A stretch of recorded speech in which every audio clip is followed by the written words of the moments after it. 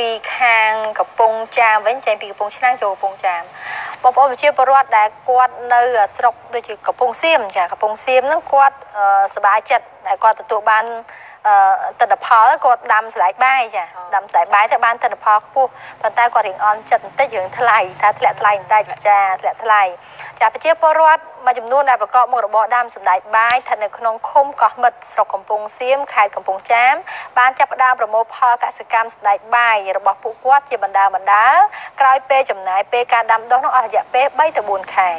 បើតាមការរៀបរាប់ពីអ្នកមានមុខរបរដាំសណ្តែកបាយបានឲ្យដឹងថាក្នុងរយៈពេលនៃការដាំដុះគឺត្រូវការថែទាំជាការជាចាំបាច់បំផុតហើយទឹកគឺជាប្រភពចាំបាច់សម្រាប់ការដាំដុះនេះទន្ទឹមនេះដែរក៏មានការលំបាក ចាំមានសត្វតកៅអីមកបំផ្លាញអីផ្សេងផ្សេងអញ្ចឹងទៅគាត់ត្រូវចំណាយថវិកាបន្ថែមទៀតក្នុងការទិញថ្នាំបាញ់សម្រាប់សត្វល្អិតទាំងអស់ហ្នឹងចាប្រជាពលរដ្ឋបានឲ្យដឹងទៀតថាសម្រាប់ឆ្នាំនេះអឺគឺទទួលបានផលសម្ដែងបាយហ្នឹងទៅបានទិន្នផលខ្ពស់ចាដោយសារភ្លៀងធ្លាក់ច្រើនប៉ុន្តែតម្លៃមានការធ្លាក់ថ្លៃបន្តិចទៅវិញចាដោយសារសម្ដែងបាយប្រមូលផលនេះវាមានបញ្ហាខ្លះ ភ្លៀងធ្លាក់ណាមានភ្លៀងធ្លាក់ចុងឆ្នាំច្រើនអញ្ចឹងទៅធ្វើឲ្យសណ្ដែកបាយហ្នឹងអត់សូវល្អទេដែលអ្នកស្រុកគេហៅថាអីគេលមួករលកមិនគេនោះចាភាសារបស់គាត់ហ្នឹងជាហេតុផលដែលធ្វើឲ្យឈ្មួញហ្នឹងគាត់តម្លាក់តម្លៃដល់1គីឡូហ្នឹងបានតែ4000 4000រៀលឆ្នាំទៅបាន5000គាត់ថាអញ្ចឹងឆ្នាំទៅបាន5000ឥឡូវតាមដានការលើកឡើងរបស់ប្រជាកសិករដែលគាត់ដាំសណ្ដែកបាយនឹងបន្តិចចា យើងពីទូចមកយើងដាំដល់ដាំទៅយើង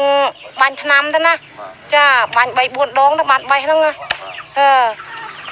ពួកអត់បាញ់អត់កើទេតកលតមូលហ្មងចាអញ្ចឹងយើងត្រូវការចំណាយច្រើនដែរហ្នឹងហើយចំណាយច្រើនណាឆ្នាំ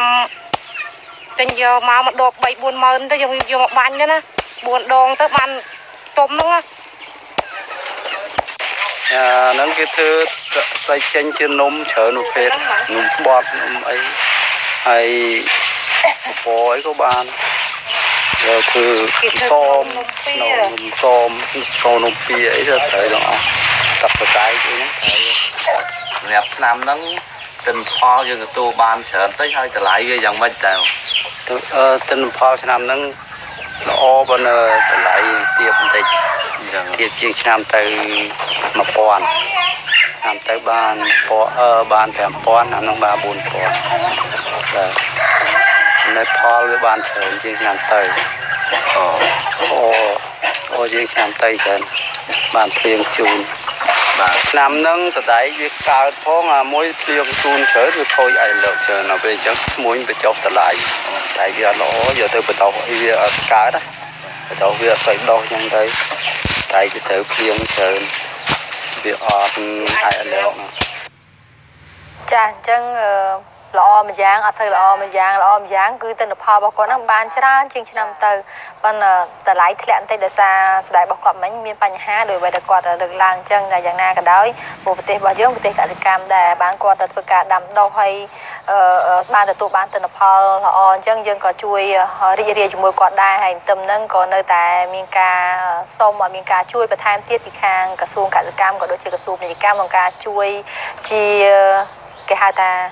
គំនិតឬក៏ការបដោះបដាលការដាំដុះនៅឲ្យគាត់បានទិន្នផលកាន់តែខ្ពស់ហើយនឹងជួយរកទីផ្សារដល់ពួកគាត់បន្ថែម